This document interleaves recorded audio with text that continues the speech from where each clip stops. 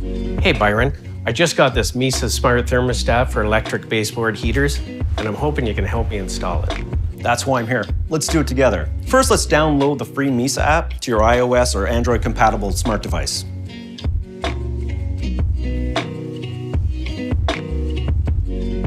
Okay, got it.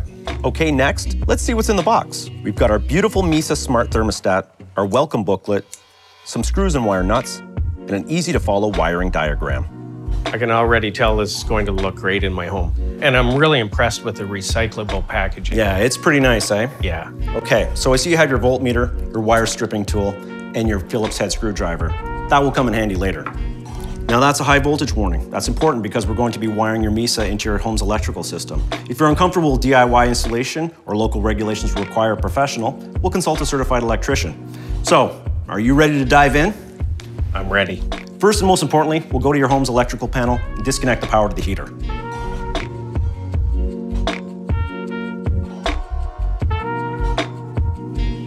Now that you've turned the breaker off, test that there's no power to the heater by turning it up and waiting a few minutes to feel for heat. It's picture time. Remove your old thermostat and get a clear close-up picture of your existing wiring setup. This could come in handy later on for reference.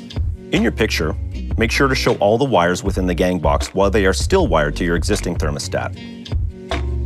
Let's use your voltmeter to quickly confirm that no wires are live. We're going to remove and discard the old wire nuts connecting your old thermostat. New wire nuts are included with Mysa. Untwist the existing wire connections and fully remove your old thermostat. Okay, so first we're going to cover the most common scenarios for 240 volt and 120 volt systems. In a 240 volt system, you'll see two black wires and two red wires. The black wire that brings power from the electrical panel will connect to your Mysa's L1 wire. The black wire that goes to your heater will connect to your Mysa's load wire. Connect the two remaining red wires together and then connect them to your Mysa's L2 wire. That's the red one. Remember, you're using the new wire nuts included with your Mysa to safely connect to your wiring.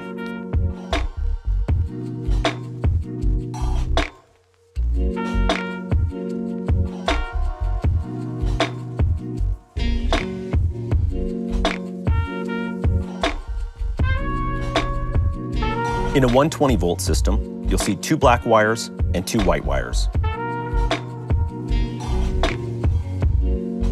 The black wire that brings power from the electrical panel will connect your Mysa's L1 wire. The black wire that goes to your heater will connect your Mysa's load wire. Connect the two remaining white wires together, then connect them to the Mysa's neutral wire.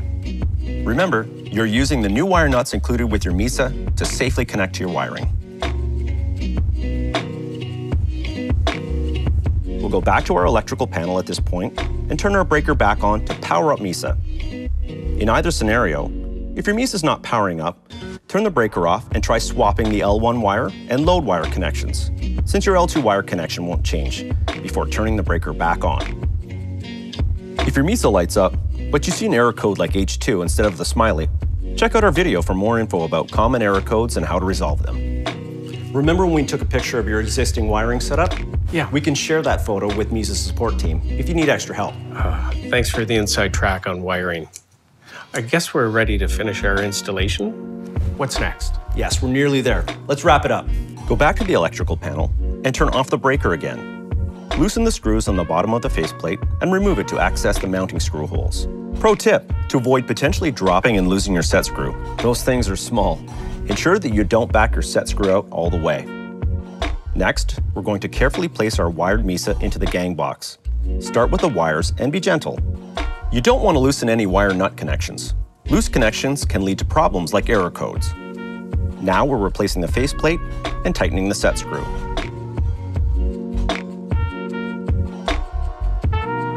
Okay, looks like we're ready to go back to the electrical panel and turn the power back on. If your Mysa is wired properly, you'll see the Mysa smiley light up. If it's not lighting up, it could mean a wiring error. Once the Mysa is up and running, you'll see an arrow pointing down, which means you're ready to start pairing your Mysa to your smart device.